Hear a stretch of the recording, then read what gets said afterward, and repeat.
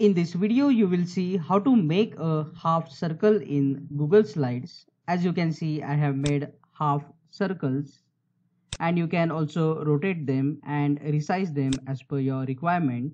You can add colors and also shades like this. Let's get started. First, I will delete everything to show you. To make a semicircle in Google Slides, first click on this text box and draw a text box. Now go up to the insert option and click on insert special characters. In the search by keyword type circle and you will see this half circle symbol. Click on it to insert it into the text box.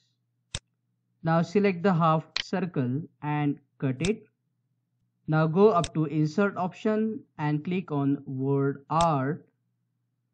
Paste the semicircle in the word art and press enter. And now we have obtained the semicircle. You can resize the semicircle as per your need like this and you can also rotate the semicircle if required. Now to fill the color inside this circle or change the outer border thickness, you can do it from here like this. And if you want dash or a dotted border, you can also get it from here.